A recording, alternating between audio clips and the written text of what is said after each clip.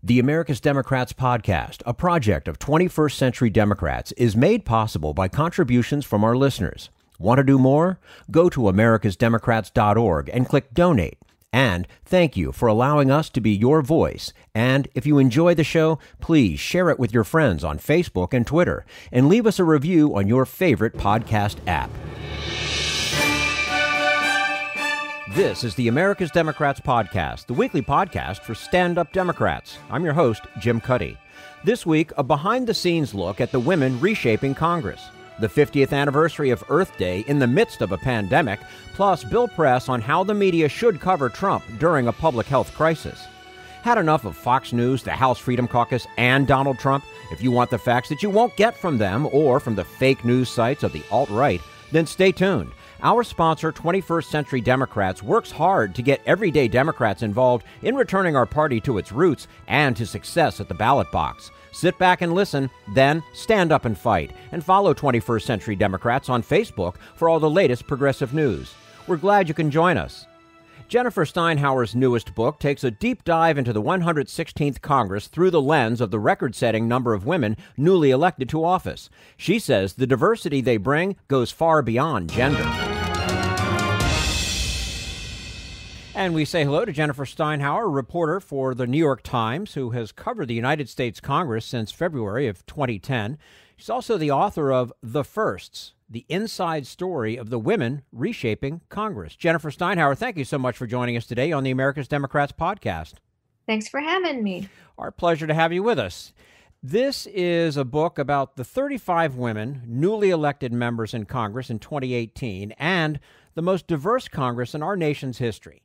For many of them, being a woman is not the only way they are a first. In what other ways are they groundbreakers? Well, this Congress has a number of groundbreakers among the women. You have your first two Muslim um, women in Congress. You have your two first Native American women. Um, then you have some first for states, like two first Latino women in Texas. You have um, many places where you have the first woman or the uh, first um, person of color from that particular district, um, the youngest, the oldest female to ever serve in the House. Um, in Lauren Underwood, who is from the Chicago suburbs, you have the first woman, the youngest person, and the first person of color to serve in that district. So there's a lot of firsts going on. And there are a lot of people. How did you research on this book? Well, you know, really, it was just about spending time with folks. I mean, uh, when my editor uh, from Algonquin called me and said she had a big interest in these firsts, um, I said, "Great, let's do it." And I started right after a freshman orientation in November 2018, after they won the midterm elections, kind of following people around. And some people were going to be of obvious interest, like AOC, who had just you know surprised everybody by winning this Democratic primary. Um, but then I was looking for women whose stories, um, who may not be at that point national names, some became so a little bit, some haven't so much, but who might be of interest and whose stories would be interesting. And there were just so many of them because the women come from a diverse background, um, ethnically, racially, but also professionally. You have women who served in the military um, and, and other national security positions. You have women from all over the country, from rural areas, from urban areas.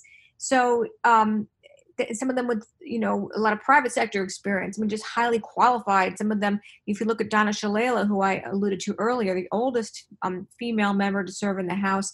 She was obviously a cabinet secretary in the Clinton administration, had been the president of a university. Not someone you would expect to be as a freshman member in the House of Representatives. She knows probably more people in the leadership office than uh, all the other freshmen combined. But that's just the kind of um, interesting uh, diversity that you see in this house. And all but one of the women you followed are Democrats. In fact, you note that the number of Republican women actually dropped. How did you come to understand why there is such a difference? Well, at first I thought, you know, wow, Republican women have had a bad year. And, and generally speaking, um, that's been the case in the House. But I was really surprised when I started to research the book to realize that Republican women have been sliding um, elected office, particularly in the House, but beyond for the last decade. And there are a lot of reasons. I have an entire chapter in my book just about Republican women, even though the story really is about the 116th Congress and the women of this House, and that's obviously principally talking about Democrats who are also in charge. But I, I thought it was worth taking a chapter to look at Republican women because Republican and Democrats, um, as far as women go, historically, the first woman in Congress in the House actually was a Republican. And if you look at the history of women in Congress, it kind of was pretty equal number for many, many years in the beginning. And so there have been a lot of um, political and structural changes that have happened uh, in our political culture that have caused that reduction, and it's really quite striking. Mm-hmm. And I, which I think it's fair to say equal, but they were still very, very small in number. Republican women prior to this year, you mean? In, in the earlier days, right? Well, in the earlier days, you know, you only had a handful of women at any given time. You know, one, two, three at any time. Yeah. Sometimes it was Republican, sometimes it was a Democrat and a Republican. I mean, it was kind of even actually until about the 1970s, and even mm-hmm. then, you had a lot of um, Republican women um, serving, and they worked with Democrat women to form the Republican Women's, the um, rather the Women's Caucus in the House because it was kind of the only way that they could have power because women just didn't have gavels and they didn't even have big roles on, on big committees back in the day. So they worked in a more bipartisan way than they do now to advance certain um, policy agendas that they agreed upon because that was kind of that was their only sort of leverage of power. Mm. Now, just beginning with the workplace, how much ground had been laid by the women before them in building a workplace that could accommodate and welcome them? Well, the Capitol is kind of a strange workplace to begin with, and um, the sort of gendered nature of that has been true since the beginning. I mean, there are great stories, some of which I recount in my book about women just trying to get a gym that was equal um, to the men's in, in, in, the 70s and the 1970s, as we were looking at um, Title IX, as we were looking at all kinds of legislation to advance uh, women in the workplace and in education. Women were still fighting for basically like a gym. And even in the 90s, um, women uh, weren't senators weren't allowed to use the pool and they tried to figure out why that was because of course some of them wanted to and they found out because some of the male senators were swimming in the nude and that's pretty recently. Um, it wasn't until 2011 um, that women even had a bathroom a ladies room off the floor of the house where men already had facilities. They had to walk halfway you know down into the through the rotunda. So this has really been a work in progress and it's been pretty slow and when you think about it, women don't still don't quite make up a quarter of the Congress. So you can kind of see where this has been. It's amazing to think that this is 2020 and we're having this conversation. Um, one of the questions that drives this book is what will be different because of these women? Of course, it's going to take time to answer that question, but we've got to start somewhere. For one thing, they represent constituencies who have not traditionally had a big voice on the Hill. What difference has that made? I think it's been an interesting difference. Um, I don't think the kind of co- provisional conclusion that I came to was that until you have a large number of women, at least half, it's hard to necessarily say that women um, make a difference by being the majority as per se as women. But I do think having a more diverse Congress has made a difference. I think that, and, and it's pushed by women, a lot of these agendas like having a Black maternal caucus um, focusing on the very uh, tragic issue of the high rates of, of um, African American maternal death in this country, uh, I think would not have been advanced if you didn't have a necessarily uh, black women in the House now leading that cause, and they've been joined by others, but they were really the force behind that. I think if you look at Deb Haaland from New Mexico, one of the two new Native American women, she's really focused on tribal issues. It's not as if that um, has not been an issue in Congress for a long time, but she just really was elevating that. And, you know, it really makes a difference when um, Native Americans come to the Hill and they are meeting with someone who already kind of knows their, their issues, their community, who's um, fluent in the language of, um, of that, of policies that impact them. So that definitely, that, that definitely does have an impact. You also write that they have reframed the debate over some very big issues can you give us some examples? Well, in that sense, I think what I was referring to there, to some degree, had to do with the policy disputes that you see within the Democratic Party, um, where certain things have been taken for granted and certain positions have not been challenged as much. And what happened is, just like you're seeing um, now in the primary race for the White House among Democrats, you saw kind of play out, uh, presage that, if you will, in the 116th Congress between the more progressive wing of the party and the more moderate wing, many of whom um, many of it was made up by women and some men, principally women, who defeated Republican incumbents in 2018 and returned the House to the Democrats. So they kind of um, have felt like they need to to continue to to be able to attract voters who are more moderate Democrats, independents, even Republicans, obviously, who help them win their seat. But nonetheless, having progressives um, like um, um AOC and others bringing up issues, really pushing the envelope on climate change, where Democrats had been more quiet after kind of getting clobbered over cap and trade earlier, uh, you know, 10 years ago, um, talking about money in politics and really kind of pushing the issue of not having super PACs and certain types of money in politics. I really do credit this class um, with with pushing those issues more to the forefront and and putting pressure on fellow Democrats.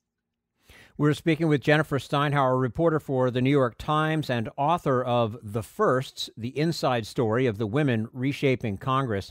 Jennifer, an issue none of them may have anticipated is impeachment. What was the influence of these women on the way impeachment was talked about inside and outside of Congress?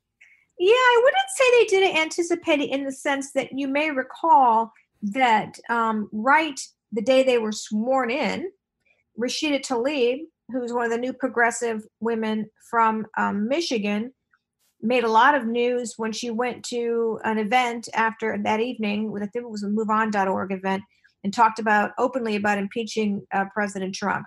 And it really kind of rattled the party because they didn't want to start off on that foot. But the progressive end, um, progressive women, and a few men too, obviously, uh, were kind of pushing the idea of doing that for a long time and Nancy Pelosi, House Speaker, was poo pooing it and trying to stay away from that. Now, when the Ukraine issue bubbled to the surface, the women, and there were some men as well, but this, uh, principally women um, who had worked in the national security space, who I tend to think of as more of the squad than the squad in the sense that they're in constant communication, group texting, they tend to vote together, they work together on a lot of things. They decided that that was really beyond the pale and even though they had not been excited about Im- impeaching the president because it wasn't popular in a lot of their districts, they felt um, with their national security background that this this was a different type of issue and they should uh, probably move forward and wrote an op-ed for the washington post which is extremely influential on the debate certainly was influential on their democratic um, colleagues and i think really uh, did move the needle um, not uh, by themselves but surely were instrumental in moving the needle for Nancy Pelosi's decision to go ahead and, and proceed. Mm-hmm. Yeah, because she really did not want to do that. Uh, uh, Nancy Pelosi. That that was kind of the last thing she really wanted to do, and um, she really didn't because, as I said, you know, this. If you think about the fact that there were so many Democrats who had won districts that had been held by Republicans, um, where President Trump was not necessarily as unpopular. In A lot of those places, you know, Trump was not necessarily as unpopular as Republican members of Congress. So they wanted to tread lightly around that. And I think, you know, House Democrats really ran on health care in 2018, you know, in response to Republicans trying to repeal the Affordable Care Act and um, and on affordable drug prices and things like that. Um, and they they didn't so much want to focus on on him. Uh, you know, they wanted to get right. to 2018 and then resurface those issues in 2020. So yeah, that wasn't too terribly attractive to turn a lot of members, but you know, we saw we saw what happened. We saw how it played out, and, and, we'll see in the long term what impact it has. It's kind of hard to contextualize it right now because of everything going on with the COVID nineteen story. Right, it's it's a little fluid right now in a lot of different ways. Um, Jennifer, with some of these women getting so much attention, such as Ilhan Omar and uh, AOC Alexandria Ocasio Cortez Others are getting much less, as you pointed out. Who are some of the first we should know more about? Well, I mentioned Lauren Underwood before. I think she's really interesting. She's really um, puts her head down and does a lot of legislation. Uh, I think um, Mikey Sherrill, uh, who is from the, has a is a veteran mother of four, really interesting member from New Jersey. Um, I would say that those are a couple a couple folks. Um, you know, she kind of came into the spotlight during the immigration debate, but I'm not sure people know a lot about Veronica Escobar. She took Beto O'Rourke's seat uh, at the border in Texas, uh, and she replaced Katie Hill, who you may remember resigned before her first year was even up in a scandal um, involving uh, uh some campaign and uh, possible staffers and her relationship with them. And Veronica Escobar replaced her as a leader in the freshman class. she's really someone to watch too. I think in in, in the Democratic Party. Now, of course, being first inevitably means making mistakes. What kind of mistakes have you observed? Well, you know, anytime you go into a new workplace, and especially when it's sprawling and complicated and in many ways arcane as the US Congress, you're going to make sort of just basic mistakes about understanding legislative process and so forth. I mean, sure. I don't know if you would call it a mistake, but I would say that there's been corrective action in the way um, AOC approached her job politically. She uh, obviously beat Joe Crowley, who was, you know, in line to be Speaker one day. This uh, very entrenched Democratic incumbent from New York, and was very excited uh, with uh, the popularity that she showed for having a, a, you know in the progressive end of the party and pushing progressive politics and she kind of stormed in and uh, frequently made a point that she was going to help lead primary challenges against some of her her colleagues and even endorsed had been endorsing um, candidates against her colleagues uh, particularly in the uh, congressional black caucus and so forth and her staff would sort of attack them i noticed this go around in 2020 She's been very reluctant to do that. She's endorsed very few challengers to the incumbents, and the two that she has were kind of uh, against Democrats who were not particularly popular um, in their conference anyway. So she she's really learned, I think, that that didn't make her popular. And you know, Congress, like every other workplace, is based on relationships. It was hard to get things done legislatively and get people to work with you when they think you know you're going to stab them in the back and try and push them out of office. And I think it's been really interesting watching that because I kind of have wondered if um, Ocasio Cortez was more interested in sort of taking Bernie Sanders' mantle, if you will, and being more of a, a political figure than than a um, a legislative one, and that really showed me, at least in the short term, that she is very much interested in staying in Congress, at least for now. It would seem, and working within that institution. Um, and trying to advance. And you know, uh, she reminds me a lot of women I read about in the 1970s, like Shirley Chisholm, who started off um, more combative with colleagues and ended up forming really strong relationships, even across the aisle, um, to become real legislative forces and real national figures. So I just keep an eye on her and, and see how she evolves. Mm-hmm. Now, another question you ask in the book is Will Congress change them? Are you ready to answer that? Well, that example I just gave you, in some ways, I think shows that. I mean, look, the thing about it is, most people who win elections, not all, but the vast majority, they like it and they want to stay. They want to stay in office. And so they will make compromises, um, political compromises, uh, sometimes doing things uh, that, are play in their district that may not play well uh, with, with their colleagues and so forth, you know, with the idea of staying elected. Um, there are uh, demands, increasing demands on you from people that you raise money from. Um, even when it is small donors, they have expectations in you. So, um, and sometimes just the rigors of it all wear people down. So I'm not ready to make that verdict because, you know, the 116th Congress is not even over. But I think um, Washington almost always has the advantage in these in this sort of existential battle and that uh, and that just kind of remains to be seen. That's sort of the question I had with a Tea Party class, frankly, that came in in 2011 in the Tea Party wave when Republicans took back the gavel in the House. And uh, for some of them, it was obviously advantage Washington. Um, some of many of them are now gone, um, but some of them kind of st- stuck to the way they are, and we see where they are now. When we look at Mark Meadows, uh, who's now, um, you know, incoming chief of staff to, the, to President Trump. Obviously, an unusual administration. Probably wouldn't have had that job in any other administration. But you see, you see um, how people's careers evolve here, and it's it's really pretty fascinating in a short amount of time sometimes. Yeah, absolutely. It seems to be moving a lot faster nowadays than I ever remember it from years past. But yeah, well, certainly I look at those that class of uh, 2011, as I said, those Republicans, and I looked up a few years later, and some of them, for a variety of circumstances, were senators all all of a sudden. I mean, so it, it definitely, um, it definitely, life can come at you fast in Washington. Yeah, no doubt about it. Now, you covered Congress for a long time before you embarked on this book. Did writing the book change any of your ideas about Congress? Um, I actually think in a weird way it taught me more about Congress. I've certainly learned about more hallways and byways than I knew about before, clocking four or five miles a day, which is walking around. Um, mm-hmm. And I think that I it really made me have to understand process more because process what was sometimes kind of um, a difficult hurdle for some of the members and so i had to really try to put myself in their head of what they were going through. Um, you know, I also think it was kind of humbling in a very good way because as you're a reporter for a um, a, a, national news organization, um, that's sometimes helpful, sometimes not helpful, but often it you know it means that people will talk to you right away about the issues that matter to them. When you're writing a book, sometimes you can be a low priority. And so it really caused me to have to scramble in some cases and chase people around a lot and really spend a lot of time trying to get in with them. And, you know, that was ultimately a good experience. Um, and I think I learned more having to do that work. Hmm, that's an interesting thing that I wouldn't have thought that would have happened that way. I would would think that you already, you know, have some form of relationship with folks. You're a reporter for the New York Times, and just because you're writing a book, that would sort of get you an in, but not so much, huh? Well, they were all new too, so they didn't ah. necessarily ah. know me or um, have any affinity for my necessarily for my news organization. Uh, now, I write a lot about veteran affairs now. I focus a lot on that. So I would say I got to know some of that group of women a little earlier, a little deeper because I was writing stories about them. Um, so that did make a difference. Yeah.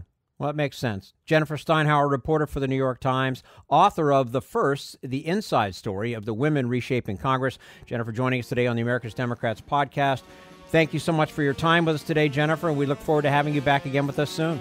I appreciate it, and I'd like to let your listeners know you can still get books on IndieBound. Uh, you know, a lot of the independent bookstores are delivering through there, um, and and on Amazon. Thanks for your time. Thank you. And this is the America's Democrats podcast, the weekly podcast for stand-up Democrats.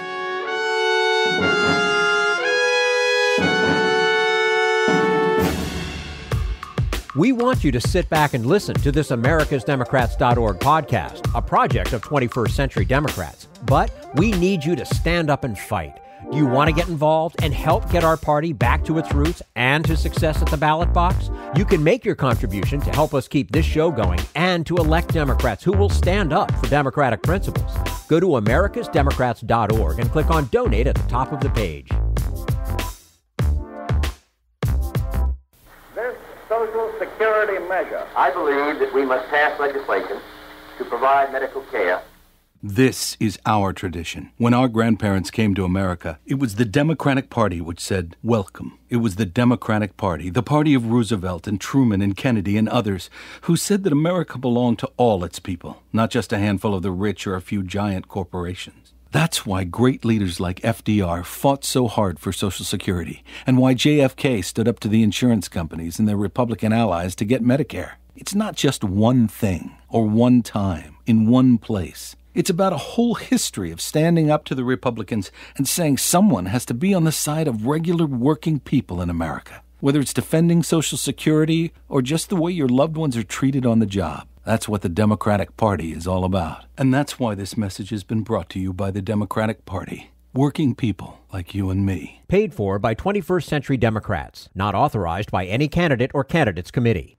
This is the America's Democrats Podcast, the weekly podcast for stand up Democrats. Coming up next, the coronavirus pandemic is forcing activists from the street to the screen. What will that mean for the 50th anniversary of Earth Day?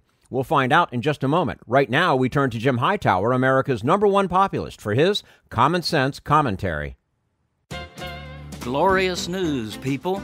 The renowned professor of pandemicology, Dr. Donald Trump, has found the magical antidote to coronavirus that had eluded lesser scientists. It's the Peter Cottontail solution. While sitting in the Rose Garden, the resident White House pandemicologist said that it suddenly dawned on him that hippity hoppity, Easter's on its way. So he declared that he was ready to lift all those pesky health restrictions and, quote, have the country opened up by Easter. Would our public health crisis be over by then? Dr. Trump said he didn't worry about such factual details. Instead, he explained to a television audience that, quote, I just thought it was a beautiful time noting that all of the nation's churches could be packed on that Sunday, bringing people together in celebration of his miraculous rising of the moribund economy. But wouldn't such a holy mass gathering actually reinvigorate the diabolical COVID 19 pathogen, spreading its destruction further, deeper, and longer? Sure, said the good doctor, you are going to lose a number of people, but Wall Street and corporate America are crippled by employees staying home, so, quote, we have to get back to work. His rallying cry for workers to pump up the sagging stock market echoes a crass die for the Dow ethic espoused by Wall Street barons and billionaires. This is Jim Hightower saying, of course, for the cold inhumanity of such a dreadful policy idea to be made clear, it needs to be officially embraced as Texas stupid. Sure enough, one of my state's right wing politicos, Lieutenant Governor Dan Patrick, lunged into the national spotlight to one up Trump, saying that returning America to full economic throttle pronto is worth sacrificing the lives of grandparents who are 70 plus years old. Let's be smart about it, he blathered, demonstrating to millions that he and this idea are dumber than a dust bunny. If you'd like more of Jim Hightower's real populism, check out the Hightower Lowdown. Jim's monthly newsletter gives you the real lowdown on which corporations, by name, are doing what to the middle class, our environment, and our democracy. Each month, the Hightower Lowdown brings you facts you didn't know, along with actions you can take to fight back. It also comes with a sense of humor. Hightower believes we can fight the gods and still have fun. Plus, get this, it's cheap. Only $15 brings you 12 issues a year. For real populism, go to hightowerlowdown.org.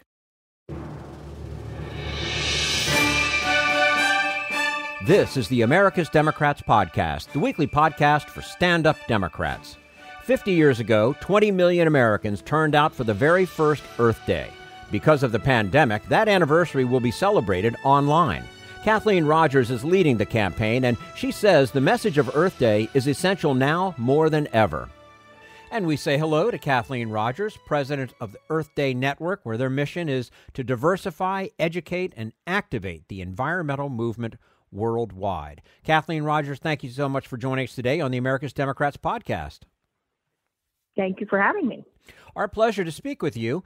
Um, not everyone in our audience is old enough to remember the first Earth Day. I am, but I'm not the audience. So, if you could, why don't you start out by reminding us of the state of the environmental movement when Earth Day first happened? It's a great question, and I think we have to think about that uh, as we move through the 50th anniversary and look at the climate issues that face us now, along with biodiversity decline and other issues. But back then, we had been through about 150 years of industrial development. And we had, not just in our country, but in developed countries, we had enormous uh, consequences of fossil fuel production and development. And you couldn't see across the street in Los Angeles during rush hour, terrible air pollution everywhere with asthma rates skyrocketing because of toxic dumps and other types of pollutants. We were seeing big centers uh, of uh, child um, issues and birth defects. Uh, we had, of course, the Cuyahoga River on fire, oil spills, and a decline in many, many species, including the most famous one, which, of course, is our bald eagle, the result of a lack or failure uh, on government's part to regulate the use of DDT, uh, among other chemicals. And so you had a a state of enormous decline in terms of health, environment, deforestation, species uh, this extinction, and the time was ripe for a movement, not just because the state of the environment was so obvious to people, um, wherever you were, except in even the most remote areas, and already you had acid rain killing wildlife and fish in in lakes. And so the obviousness of the issue made it easy. Uh, but there was a second movement and set of issues going on at the same time. And those were the anti war movements, the civil rights movements. And across the country, there was, I think, the stirring of a rebuke to the way things were. And so Earth Day coming at that time was a combination of the fervor that people felt, not just young people, not just students, uh, but the interest and concern they had about a wide variety of issues. And the thing about the environment is, uh, it's number one, the definition is what surrounds you. So everyone was experiencing it. It wasn't remote. It wasn't Vietnam. It wasn't some other place. It was in your neighborhood, your streams, your water. And so you had a general sense that we needed to do something about it. And of course, maybe five or six years before, Rachel Carson had come out with her famous, famous book, Silent Spring, about DDT. And so I think the resistance to change was just not present the way it was even in those other movements, civil rights and the war, where you had steadfast interests fighting against what was right. And so when Gaylord Nelson came up with an idea to do an environmental teach-in, and Denis Hayes, working with him, came up with the concept for a much broader thing called Earth Day, the interest of the American public just skyrocketed, and they turned out 20 million people on the streets. And that was a little bit more than 10% of our entire population in a single day.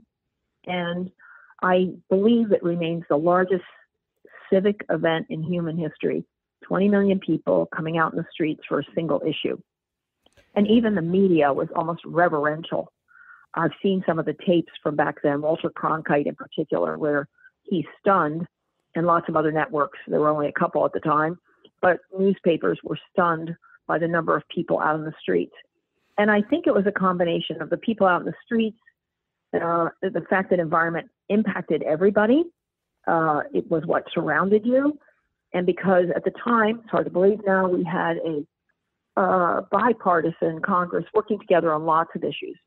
And so the net result of that first Earth Day, besides shock and awe, uh, was that the President of the United States, Richard Nixon, and the Congress worked together to pass in rapid succession some of our greatest environmental laws. And interestingly, uh, one of my favorite laws, I call it the mother of all laws, was actually passed and signed by Richard Nixon, passed by Congress and signed by Richard Nixon before Earth Day in January. It's called NEPA, the National Environmental Policy Act, now under attack uh, by the current administration, but it, it's a fabulous law that provides all of us, me, you, and every listener, the right to information about what's going on in your community, community right to know laws, and the right to sue your government if you don't, if they don't enforce the laws. These are powerful tools that each of us has. After the first Earth Day, after Congress passed a succession of environmental laws, including uh, clean air, clean water, it was a revision of clean water. In addition to that, it included the Endangered Species Act and another critically important laws. The group of people who included Denis Hayes and most of the other young people that were the backbone and staff of the first Earth Day, they came mm-hmm. together again and began to focus politically on a dozen people who they felt had blocked or attempted to block some of the best laws that had been passed by Congress. So the November after Earth Day, they targeted a group of people, a dozen altogether, now called the Dirty Dozen, and 10 of them were especially targeted, and out of the 12, they defeated seven. So suddenly, Denis Hayes and the environmental movement became a political force, and then everything changed almost immediately overnight. And the environmental community began to experience what I look back on fondly as a honeymoon period where they worked with Congress and states and the administration Republican and Democrat, straight across the board, and passed all of these laws, began to enforce the laws, created regulations. And at that time, industry was relatively supportive. And so the environmental community um, moved along and became quite a force. And in fact, Sierra Club was quite small, and some of the other environmental groups didn't exist in 1970, and many of them have their 50th anniversary this year as well. Now, since that day, Kathleen, Earth Day has gone global and evolved into a year round organization. What's the scope of your work today? Yes, we are uh, international. We are in 190 countries and with tens of thousands of organizations and millions of teachers all involved in our network, faith groups. The list is quite long. And our agenda is both Earth Day, which takes us quite a bit of time, and we have a separate staff that organizes Earth Day worldwide. We come up with a theme, uh, we begin to reach out to people. Um, we believe people will take the baby steps they need to take to move into the environmental movement through Earth Day. And so that takes up a lot of the time of about 50% of the staff. And then, in addition to that, we work on a number of important public policy issues, including plastics, biodiversity, um, a number of issues related to uh, recycling, uh, educate climate and environmental literacy, which is a really big one for us. And we're also engaged in a wide variety of issues that would be, um, you know, obvious to anybody working in the environmental community, including community right to know, uh, building capacity of organizations on the ground worldwide. And we do everything, including put solar on on buildings and schools and rural villages around the world. So we have quite a lineup of issues that we work on, mostly because we are a network by definition, and so we respond to our network's needs, and we're um, pretty versatile. But we do have some core issues: plastics, climate, environmental literacy, biodiversity, and a number of other issues. Climate change, of course, can't forget that, uh, that dominate most of the substantive staff's agendas. Now, of course, since 1970, uh, Earth Day has been every April 22nd. Now, all of a sudden, it's a whole new world. Before the coronavirus COVID 19 epidemic hit, what had you planned? Well, we planned a series of things, and and in that regard, you know, as you can imagine, we what we intended to do and what we did do, and which we're able to maintain, is we built the world's largest environmental infrastructure. And by that I mean, unlike other environmental groups, and you mentioned our mission to begin with, our mission is everybody else. And by that I mean, and I come from the environmental community, so don't get me wrong, every environmental organization does important work. However, when I came into Earth Day, we decided that our goal was to diversify it, to bring non environmentalists into the movement, to bring faith based groups into the movement right, left, center, um, mayors, high school students, college students, university presidents, and the list of partnerships is enormously long. And so we work with the Sikhs of India and Buddhists, Catholics, um, evangelicals, uh, Boy Scouts, Girl Scouts, mayors. The list of demographics we are involved with is enormously long. It's over a million groups in total that we do outreach to. And those groups work with us because, unlike other environmental groups, we don't try to approach them ourselves directly because it would be futile. There are just too many people in the world. So, what we do is we work with their trusted leaders. And so, we spend a lot of time working with, discussing why they should be in the environmental movement, and forming partnerships with the leaderships of these hundreds of thousands of groups in order to convince them that taking a step, any step, is better um, than nothing, and taking a step, any step, is good for their communities.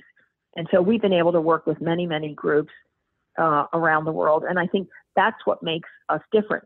So for the 50th anniversary, we used that same model and decided we would build an infrastructure that included every single country. And in many countries, we've put together coalitions of groups where there hadn't been before. So we bring together all these diverse parties, sit them down at a table, and we create coalitions. We support their integration of ideas and of each other, and we build strength by building numbers. And so we're quite different in that regard. And so for the 50th, while we are devastated uh, with what's happened, not just for the 50th, obviously, but because of what's happening to the world, the economy, the deaths.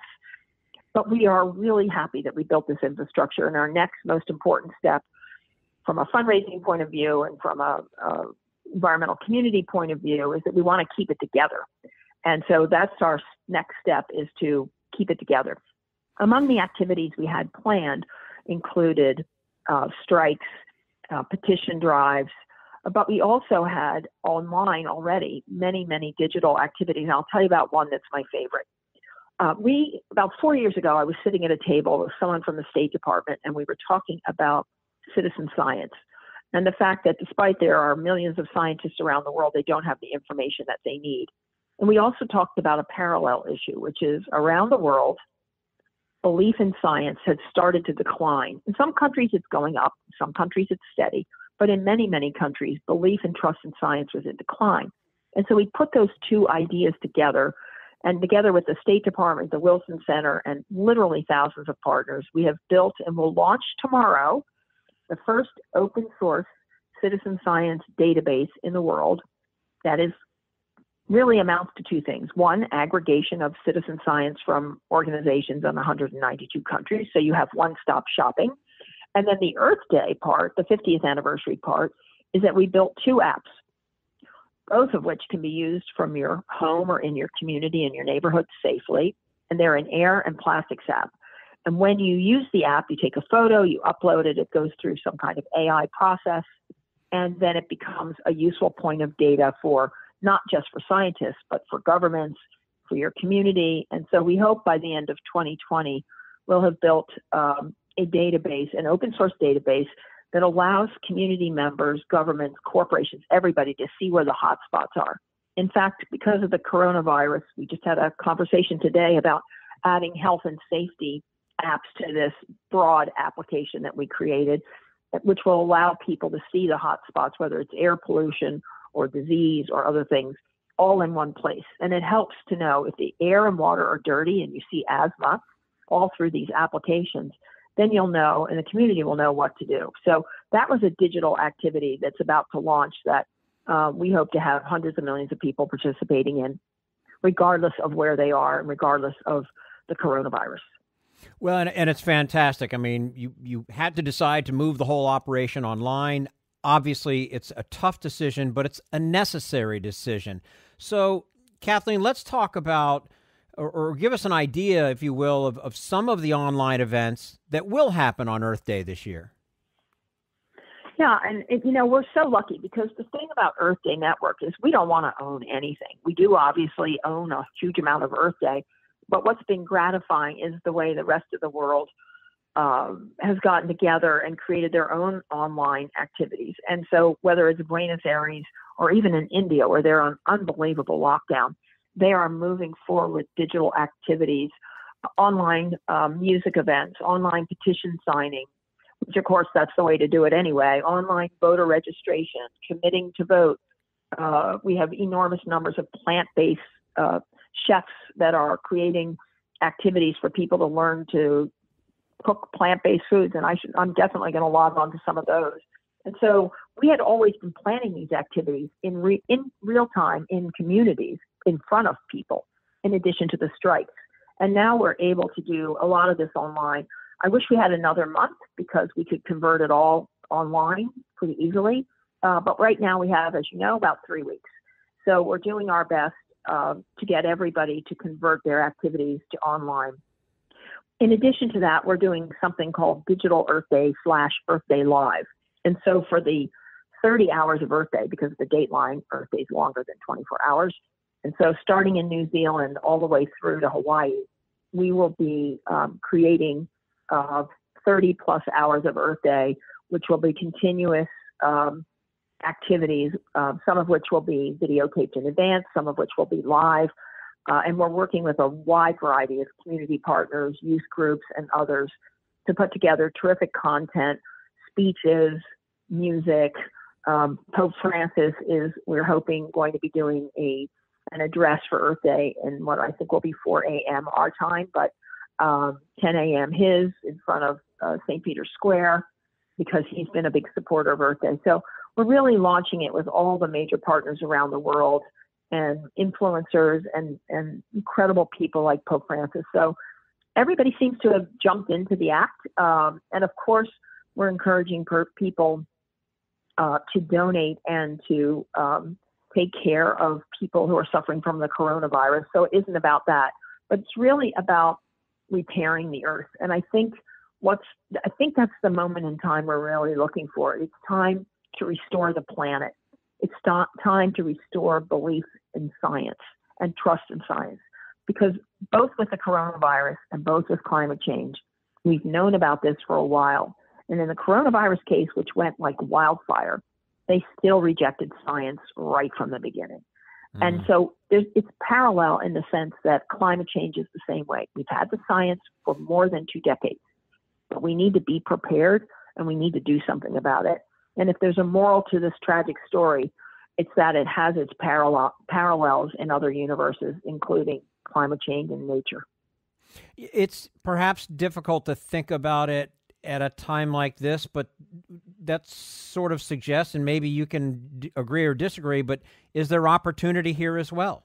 Because of, of the coronavirus and the effects and what we've learned from how we now have to operate.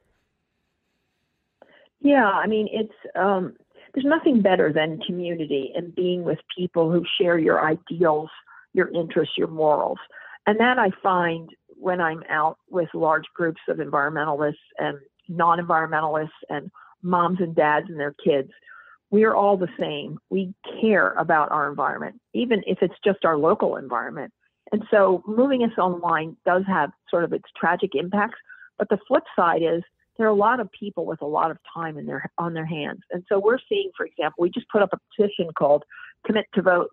And all of a sudden people are just signing up like wild. I think in part because they're looking at their computers, they're probably flipping between planning for Earth Day and looking at news reports about the virus.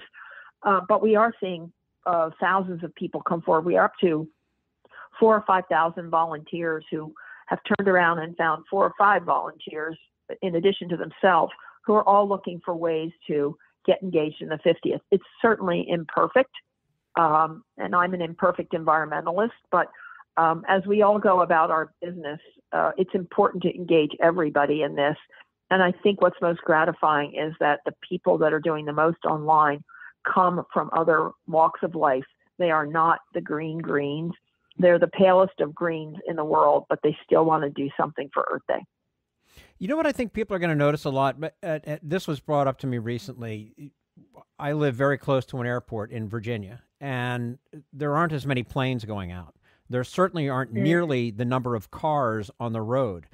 Just those alone, just those two things alone, make a difference in in the air quality on a daily basis. Absolutely, and whether it's NASA or other private industries, uh, amazing photos online, whether it's in China or India, it doesn't matter where it is. Every single country has uh, created some sort of opportunity to take photos from satellites of their air quality, their water quality, for a bunch of reasons. They're all using satellite photos of their own countries. And every single country is experiencing better air quality that's on lockdown. I mean, mm-hmm. not just a little bit better, but significantly better. And so it's been quite amazing. And there are other gratifying stories. There was a photo in someone sent me from a major city in India. I think it was Delhi, and I have a photo. If you ever want to look at it, it is de- uh, photos in this packed place. There's not a soul on the street. There's a photo right down the median, which has grass in it in Delhi, and there were 40 deer lying on the grass. And wow. in my own neighborhood, um, and trust me, they can be quite difficult because they're everywhere. Right. But they're walking down the street, and as we've heard the stories, the dolphins have come back to Venice. They haven't been there in so long, and they're swimming everywhere. And across the world, I'm seeing hundreds of photos of people who are taking pictures uh, of wildlife in their yard that they've never seen before. We had, I'm in, I live in Bethesda, Maryland, and we are up in the hills. I live near the Potomac, but uh, we've had in the last two days two or three coyotes in our neighborhood, and while not everybody's fond of them, um, uh, they seem to be just loping along and minding their own business. And at one point, I saw uh, my neighbor's cat kind of in a standoff with the coyote, and it simply turned around and walked away. Only I'd had my camera, but I didn't. But I think you're going to see a lot of that. And I think the good news is that people um, are reading about the air and water getting better. And I hope they make that transition from this moment in time with cleaner air, cleaner water, fewer people yeah. on the streets, more wildlife, and they move that to their conscious subconsciousness and maybe finally their consciousness that it's time to do something about climate change. It, and it one of our newest campaigns.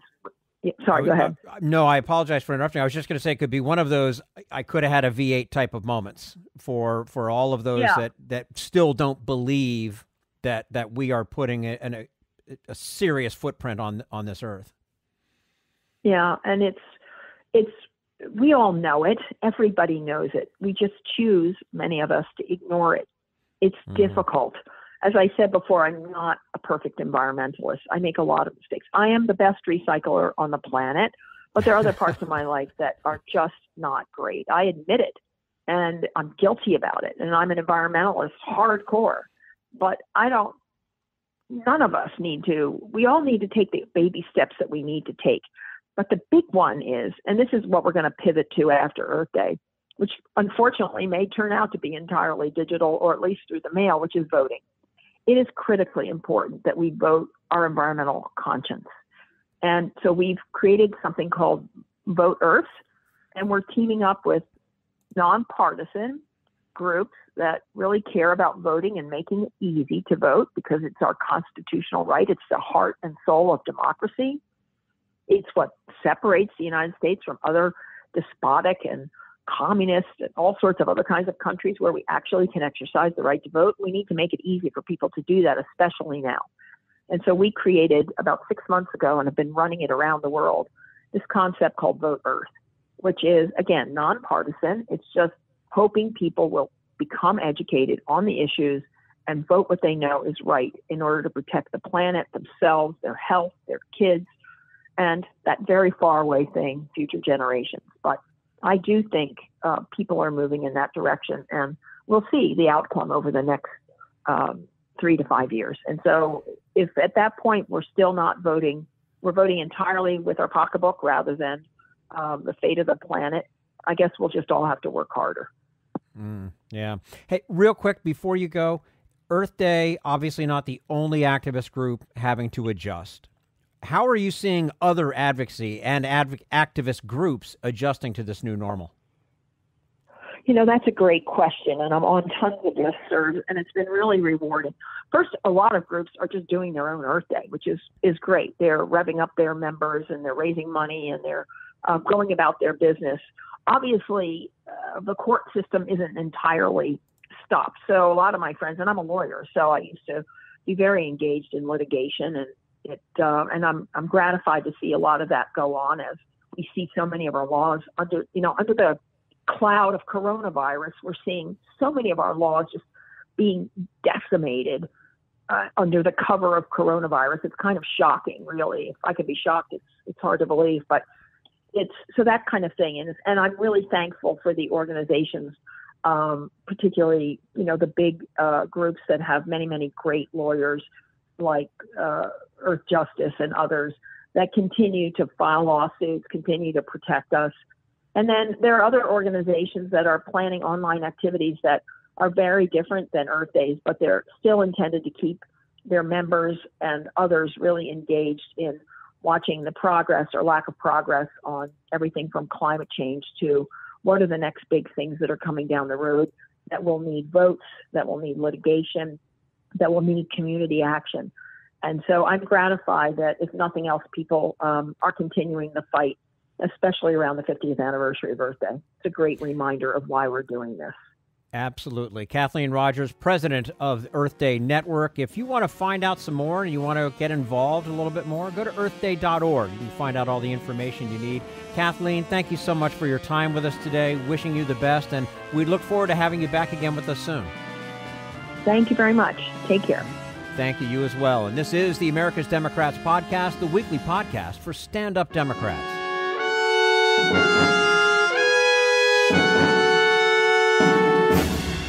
We want you to sit back and listen, but we need you to stand up and fight.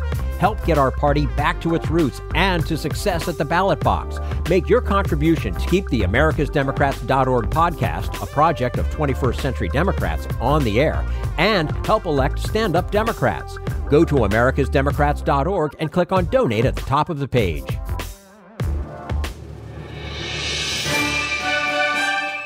This is the America's Democrats Podcast, the weekly podcast for stand up Democrats. Should networks stop airing Trump's coronavirus briefings? Bill Press talks with veteran journalist Soledad O'Brien. I just ended up watching about 45 minutes of Donald Trump's latest briefing from the White House, and it was the same old stuff about how great we're doing, and the vaccine's on its way, and the new medication's on its way, and the hospital ship is on its way and we're doing more than any other country on the planet he says should we should and this of course is on all the cable channels should they even be televising these daily press briefings listen at the end of the day um, i think journalists and journalism should be about serving the public right i think whenever you're confused or trying to figure out what the right thing to do is you go back to well what's our mission what, what are we here for? And the mission of journalism is to serve the public. And I think everyone would say these press conferences are full of untruths, of lies, of exaggerations, of mischaracterizations, right? literally, everyone has to be followed by a here's a fact check of what the president just said, and all of these things are untrue. And so I think it's become quite clear that no, of course not. We shouldn't be covering them live. If you have some desire to do, you know, if you feel like, hey, the world or our viewers need to see this, then you can always, you know, run it and and literally spend your time fact checking it first. So you're running in real time with actual accurate information versus giving somebody a platform to spew lies. I think every journalist would agree it is not okay to give someone a platform to spew lies. And and so, it, it, but here's what they're balancing. For the balancing, it's a ratings getter, and the ratings yep. have not been better. And so, you know, that's that's the real problem. The real issue is nothing other than the ratings have not been better. That's it. Yeah, and and there is no after the press briefing, right? They just go back to their regular news. I mean, there is no point by point refutation of the lies that Donald Trump has told. Like, you know, this vaccine. He... Well, and it doesn't, correct. And it doesn't even, um, so everyone will talk very hand wringingly around, like, oh my gosh, it, it leads the next day of stories, but yet they don't actually in real time work to to fix and fix the problem that they're giving a platform to. Right. So, you know, one has to say, well, why does someone do that? And are they crazy? Do they not understand? It's been going on a long time. So clearly not crazy. They do fully understand. They like the ratings. Period. Full stop. And they're willing to put bullshit on TV if the ratings are good. Period. Full right. stop. This to me I don't know about you, reminds me of the 2016 campaign where Donald Trump's rallies, CNN covered our good network, covered every one of those rallies from start to finish, right? Every Donald Trump rally with all that bullshit. And no other candidate could even get any airtime at all, right? And now they're now they're giving yeah, Donald so Trump the, the same, same platform. Right. And and so people say, will the media learn? It's you have to want to learn a lesson. And the lesson was we made a ton of money off of Donald Trump. So there's no there's no thing to learn. In fact, the more fighting you're in, the more of a debate. I mean, reporters often post when Donald Trump has said something nasty to them, right? Because they feel like, oh, it's a it's not a bad thing. It's a kind of a little bit of a badge of, of honor to right. some degree.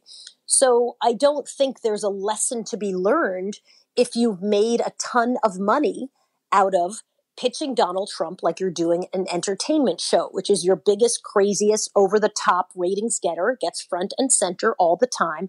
And even if you have to put your camera on an empty mic stand, that is better than something else. So uh, the other day, uh, you know, Donald Trump does this pivot after totally dismissing this, saying there was only five cases, it was going to be down to one case, this was a nothing burger, the whole thing. He suddenly came out and said, oh, I'm going to declare a national emergency. I happened to be there in the Rose Garden when he said that. And immediately, right, some people in the media said, oh my God, this is what we've been waiting for. This is the true leader. Here's our friend, I'd love to get your response to Dana Bash on CNN. This was remarkable from the President of the United States. This is a nonpartisan, this is um, an important thing to note uh, and to applaud from an American standpoint, from, an, from a human standpoint. He is um, being the kind of leader that people need, at least in tone, today and yesterday, in tone that people need and want and yearn for in times of crisis and uncertainty. The kind of leader we want Soledad. Talk about a pivot, right? I think that we've seen this over and over again. And this time it's Dana Bash who's it, right? Which is everybody is hoping and pining away for a president to behave in a presidential way, which Donald Trump has never done historically, will never do. And it's just interesting to see the leeway that certain people give to certain people right? That that every day i mean i think it was van jones who at some point when the president was able to read off of a teleprompter without tripping over his teeth he said you know today is the moment that he became president right? They're looking to declare. Also let's keep in mind you have a absolute ton of time to fill when you're on live tv right. I, I feel badly for dana because this was so terrible. She got raked over the coals i think rightfully so because her what the media gets so confused, and I think she's a really good example of someone who doesn't, eh, so how someone comes across for the moment is such a ridiculously lame measure of what they do in their character, especially during a pandemic, but I would argue at any time. So, this concept of today he delivered words in a tone, let's all agree, tone alone, she even couches it, his tone was what the American people need, what people are looking for. And she went on to say something like, we should applaud that. And I just, I was so disgusted for a number of reasons. One, it's like Lucy and Charlie Brown, right? Yeah, Every right. single time this person proves to you, and within, I think, 12 or 30, 24 hours, the president was back to tweeting disgusting things and mocking, I believe, Mitt Romney, who had got into um, uh, self isolation. His wife, of course, is ill and wanted to make sure that he hadn't been exposed to COVID 19. Uh, so there was just no indication at all that, in fact, the president's tone in, symbolized anything other than him able to read something without messing it up. I, I just don't know. I, I, I think that uh, it's such an interesting psychological experiment of like, why would you want to believe that person could do it? Why does he get time after time after time? Today in the Wall Street Journal, um, there's a journalist who writes about if the president can rise above the pettiness, and if the president can, you're like, he is the pettiness. As if, I just right? don't. I don't. As if he were capable of doing that. And it's just time and time again. And it's not like, hey, listen, we're three months into his presidency. This has been the same way for three years, but also the history of Donald Trump himself as president of the United States. But even before he was president, this is what he did. So I, I find it all very uh, perplexing because Dana Bash is a smart lady. She's not an idiot. Um, but what she said was idiotic, and I think she was rightfully raked over the coals for it. Uh, and and often I see um, journalists get up there and say these things and pronouncements about what they hope and want him to be. That it's just it's there's no evidence, and yet he gets um, opportunity after opportunity after opportunity to say something, and no one seems to look back at his history and point out that wow, this seems to go against everything else he's done for the last three years. Right. Now, this is also the very same time, and again, I was there when um, Yamiche Alcindor asked him and said, "Well, you, uh, you know, you shut down this office uh, for pandemic. How to respond?" And do you take any responsibility? And that's where Trump famously said, I don't take any responsibility at all, right? I didn't do it. And at which point, before she could follow up, and we've never seen this happen before, they shut off our mic. They turned off our mic, and they did that Yeah. several times at that news conference in the Rose Garden where they would not allow a follow up question again. And the Mhm. media just rolled And so you over. would think that, right? And you would think that that for Dana, that actually might be an interesting thing to point out. So even if the president suddenly changed his tone, you would say, "Wow!" But this other thing that's happened at this very same news conference, and by the way, even within that news conference or that press conference, he he he he talked about the Chinese virus. He Yeah. was, I mean, he he had a lot of crazy. So even in the whatever it was, one hour that you guys were all there, it wasn't like it was the most sane, different tone. It was for a moment, it sounded like he was trying to deliver a message, and he stayed on message for 35 seconds or whatever the amount of time was. So, you know, yes, you would think that the press would actually stick up for each other and and and follow up on that. And and Dana would or others, right, would sort of point that out, but they don't. And again, it's because this idea that anybody's learned a lesson, there's no lesson to be learned. It's how much money did you make? Period. When you look at, so this is the latest, um, uh, uh, latest episode, if you will, or latest uh, whatever, t- turning the page of the Trump presidency. But as you point out, this has been going on for a long time. So the Washington Post, which keeps track of this, I think the latest number I saw, sixteen thousand two hundred and forty-one lies told by Donald Trump that they've been able to track. And that's those are things that they'll call lies, right? Because there's a whole other range of things that are like exaggerations, not quite a lie. You'd really have to believe that he was being dishonest and maybe he didn't know. You know, so they don't they don't necessarily dip into those things that we might colloquially call a lie, but that technically aren't lies. Right. So the question is, what do we do about that? What should the media do about that? Point out everyone? I think people pat themselves on the back. Yes, absolutely. I think Daniel Dale is doing a great job tracking them. I don't think it's anywhere near enough to track them, right? I mean, as if somehow just tracking lies from the president is is enough. I think it's it's amazing to me that you track lies from the president, but you continue to book um, spokespeople, right? That that they can literally lie to you. When, when I used to do a show uh, at CNN, actually, and even when I was at NBC, if someone lied to you, like literally overtly lied to you, like Kellyanne Conway lies all the time when she's on the air, you just wouldn't put them on TV.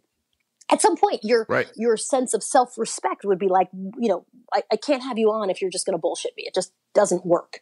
You know, I, I, I understand spin, I understand dodging, but at some point, I'm going to give you a platform. I'm going to push you hard, but you have to have a semblance of honesty. And I think what's happened is the media has really been so interested in having that kind of like craziness and debate that it's worth it to put people on, even if they're lying to the audience. And as we all know, when a lie is is given a platform, even if someone comes on afterwards to say, "Hey, I want to point out that that thing was untrue," you know, it's already gotten out there. It's been propagated and it's been chopped up, and it'll live on social media. And so you don't, you can't just kill a lie by saying, hey, that thing that you saw five minutes ago or 10 mm-hmm. minutes ago or two hours ago, that was a lie. It's, it's great to track it, but really to what end? No, and with Kellyanne Conway, CNN at one time said we're not going to book her anymore, and then they started booking and her. They book again, her all the time, right? There was a time when she, yeah. I remember. Oh, what, who was it? It was um, somebody else on CNN who who actually was being paid by CNN who talked about how he didn't feel like he had to be honest when talking to the press, and the next day they had booked him on the air. So I think that what's happened is people understand journalism has become a game. It's become a game. It's just a game, right? And and nobody wants to call out racism. Nobody nobody wants to say this is racist and you're giving a plat I, I, you know uh, every single time i retweet anything from the first lady i'm like she's a birther and no one cnn did an entire documentary on her not talking about her birtherism which by the way was on camera. She said it out loud on on the set.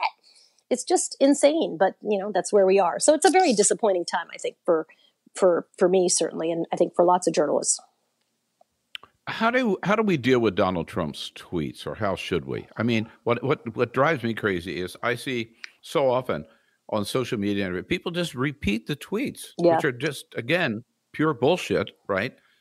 And and pay so much attention to them. Should we just ignore them? Should we not report them? I mean, yeah, you, you know, know, they I, are I, coming from the president of the United States. I think kind of hard to ignore. Twitter has decided to, you know, you again. I think you can report things without giving them life, right? I mean, one of the things when we would do stories on white supremacists, you know, you don't have to give someone a live mic and a platform all the time. You can you can talk about what they've done and give it context. So in the middle of that discussion, you've got context as opposed to, hey, we let them talk for five minutes. Now I'm going to jump in and tell you what they said was wrong. So I, I think mm-hmm. I would handle the president's tweets the exact same way. This is something he's a president of the United States. Obviously, we have to cover his tweets, but this idea that you have to elevate every single thing. I mean, entire shows are blown out every day, right? They start now with "Good morning, everybody." The president tweeted last night, or the president's been tweeting this morning, and and they they give him the platform. And again, if it didn't rate well, if he wasn't a big draw in a lot of ways, right? If he wasn't over the top and crazy, and everybody has learned in reality TV, the one who grabs the weave and and gets drunk and goes nuts, she's the one who's going to get paid the most money so they've really learned this idea of like that's going to be the crazy over the top compelling one and there's not serving the public sometimes news can be a little bit boring because you got to just cover the mm-hmm. important mm. policy issues and agendas it's really about how do we how do we get something to be salacious over the top and crazy and i think that's the biggest problem is that the media is really trying to sell something uh, and not really serve the public i think it's pretty simple is anybody out there doing a good job covering Donald Trump? Do you believe? Yeah, I think a lot of people. I mean, I, I often rag on the New York Times, but I think a lot of their work is actually sometimes very good. Um, I think I think CNN sometimes their work is really really good. I, I think the problem is that that uh, in leadership is probably the biggest issue. Um, you know, there's no they, they, they can't say, here's what we're going to do. We're not going to take these pressers. There's no reason to take the press conference he did today. There was no reason to take that. You could run it 30 minutes later, right? I mean, it didn't, it has, it's going to be inaccurate. If you really were trying to serve the public, you just hold it. You do a, you know, a, a, a fact check on it and then you'd actually mm-hmm. disseminate mm-hmm. and you'd also wouldn't cut away when the scientists come on. I think one of the most obvious things about uh, all of this is when the scientists come on off i mean msnbc sometimes will cut away from the scientists. You're like you're supposed to be informing the public. So you know it's a bit of a game now.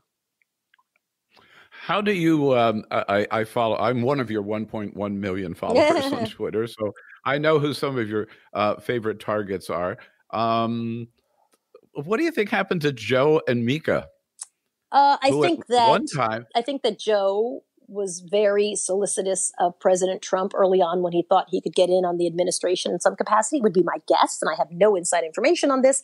And I think the minute it became clear that he was, I mean, if you go and check the record, the minute the president uh, announced Pence as his running mate, um, Joe got very cold on him. So, you know, I think he, I think a lot of people actually really saw their fortunes potentially tied to Trump, especially if they knew him well socially, right? It seemed like, hey, I could have an in. And you saw a lot of people have gone through the White House because they thought that they could kind of get something out of, you know, milking their relationship into something that would be useful for them. And uh, Chuck Todd on Meet the Press, not one of your favorites, huh? You know, partly because Meet the Press was one of my favorite shows ever. I mean, when Tim Russert did that show, he literally was like a god at, at NBC. And I'm not overstating it. I mean, he was worshiped. And I think he was able to figure out how do you hold very powerful people accountable when you're a powerful person and you're invited to their cocktail parties, right?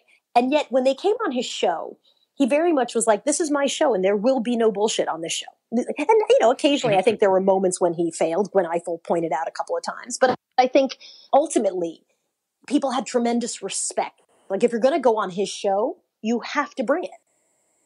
What happens, I think, with Chuck Todd is that his line of questioning sometimes really fails. And I think he, he is really afraid of following up and being really strong with people. I think he's afraid of his guest, actually. Uh, Chris Wallace at Fox News. I mean, he really is a pretty good master class and he's just not afraid of his guests at all. He just, he literally allows no bullshit on his show. And you get the sense, like, if you're going to come on his show, you best not lie to Chris Wallace. Most of the time, he really holds people accountable and he's personally offended if they try to bullshit him. And I think that Chuck has made it clear in other interviews. One, he described himself as being naive. Two, he has said, um, that he, you know, he doesn't think it's his job to correct people's lies. I, I, I don't know that. I mean, I guess I just don't see eye to eye with that. I don't. I, I do think it's your job. Uh, so you know, I, I, think it's made the show less good, certainly. And I think it's made the show less reliable for information. And then I think just structurally, the arc of an interview, often, you know, he's just afraid to go for the jugular and ask the person the tough question. Then you can kind of see that on the air. So it's disappointing because, you know, I think I'm just one of a zillion people who really wish that Tim Russert uh, was doing that show at this very important time. Bill Press talking with Soledad O'Brien. If you'd like to hear the entire interview, visit BillPressPods.com. That's all for the America's Democrats podcast. Thank you to all who made today's show possible Jennifer Steinhauer, Kathleen Rogers, and the entire Bill Press team. And thank you for listening. If you liked what you heard, please get involved in our efforts to keep this show going and to elect Democrats who are bringing the party back to its roots. Go to americasdemocrats.org and click on donate at the top of the page.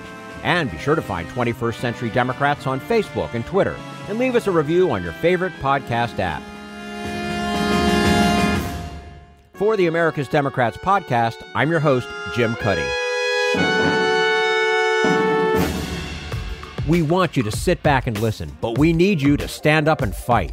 Join us. Support the AmericasDemocrats.org podcast, a project of 21st Century Democrats, and help elect Democrats who will stand up for democratic principles with your contribution today. Go to AmericasDemocrats.org and click on Donate at the top of the page.